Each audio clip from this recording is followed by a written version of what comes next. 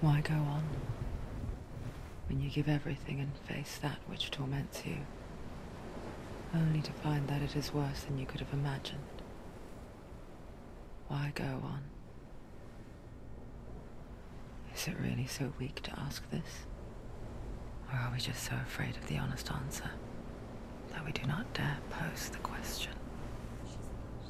Sometimes the answer lies in a memory, a feeling, a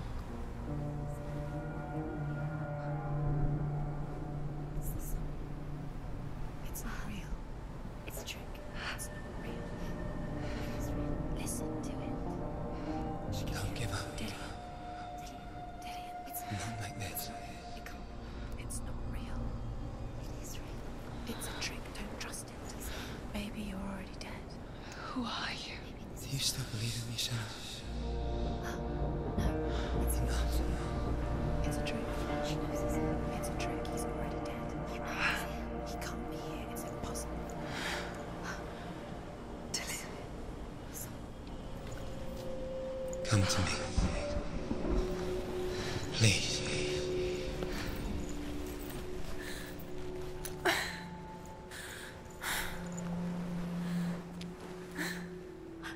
light. Go towards the light. It's him. There he is. It can't be him. It's just a trick. It's in your mind. no, he's here. It's in your mind. It's real. What's happening? Go towards it.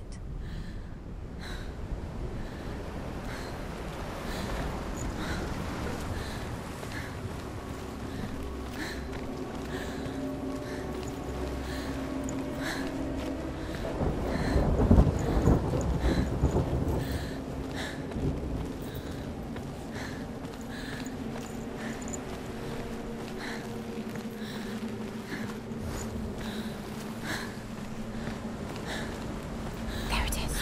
You're imagining this. It's Dillion. He's gone. You were so slow. How could you? Keep going. How could you? Keep going. Ignore the pain. I told you it was the trick you. I told you. Where are you going?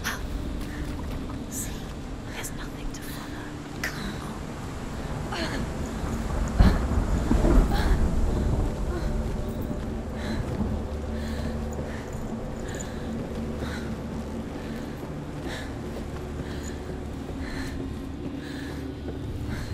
Before she first met him, she was not in a good place. Just a teenager, but not like the others. Barely functioning, she rarely left the house. Her father's Zynbel made sure of that. Only occasionally did she venture out on her own, collecting firewood and herbs. Errands out in the Orkney Plains. Was her world. Like this one. Barren and lonely.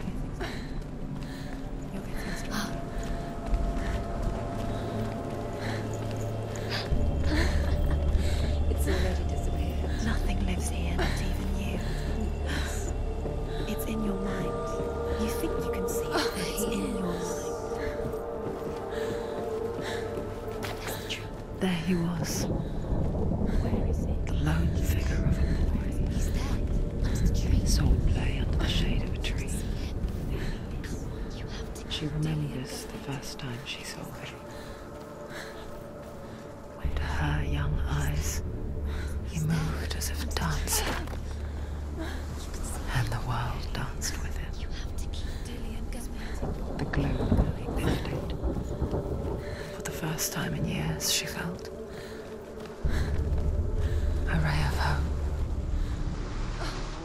Tell of a great hero. His name is Sigmund. His father's hall was built around a great tree, and one day Odin comes and thrusts a sword into the tree, a gift to whomever can release it. Many try, but the sword only comes out at Sigmund's touch. His brother.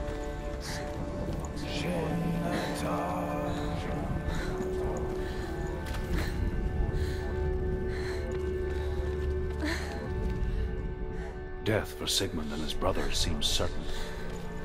But the king's wife is Sigmund's sister, and she begs for mercy and implores the king to chain them up instead. He agrees. Not for mercy, though, but because he plans an even more cruel and lingering death. Chained to a tree in the forest that night, a she-wolf comes and devours one of Sigmund's brothers. She returns, ravenous, night after night, until only Sigmund is left. The next day, Sigmund's sister sends a servant with honey to smear on Sigmund's face. But to what end? Well, that night, when the she-wolf appears again, you'll never guess what happens.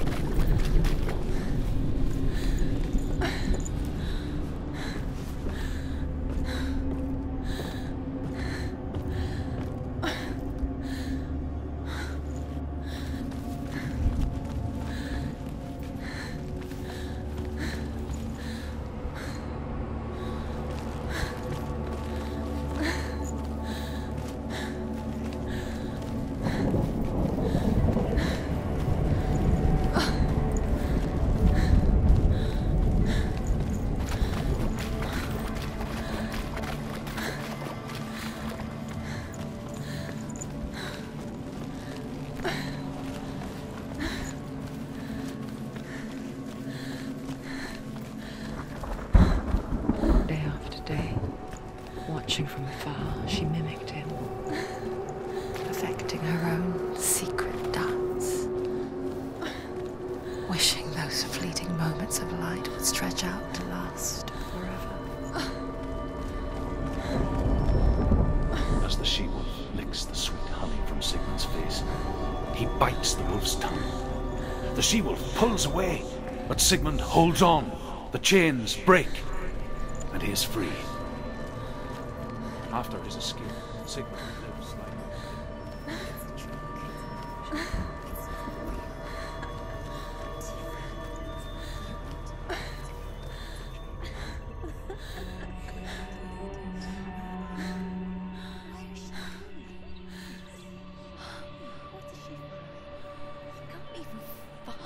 just How does he so effortlessly court the world and bliss? Only she could do the same. See the world through eyes anew and dance with it, just like he does.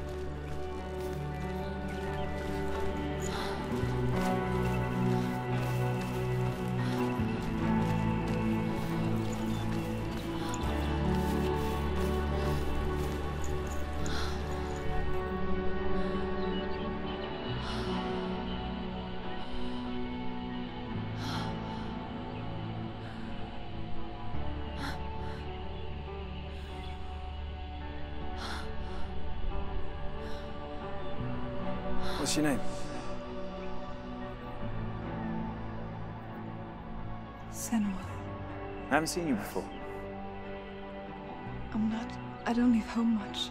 Oh, Zynbel's daughter. I have to go. Wait. Who taught you to fight like that? No one. No one. Well, I I watched you, and You learnt all of that from watching me? you should become a warrior, you know. me. I'm Dillion.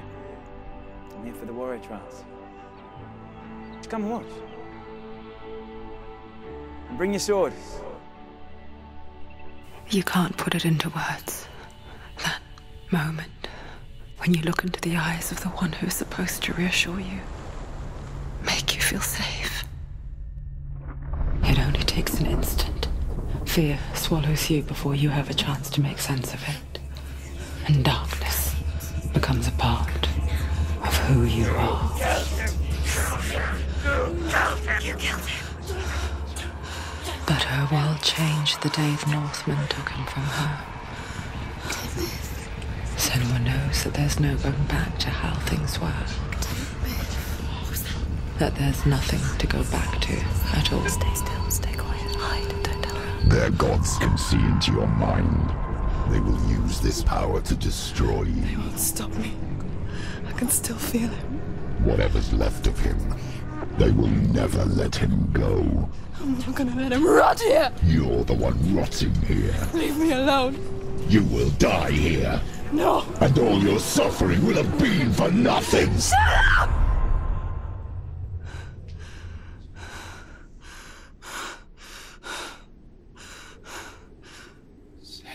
Dillion?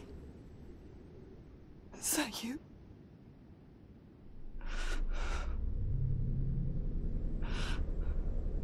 I'll find you,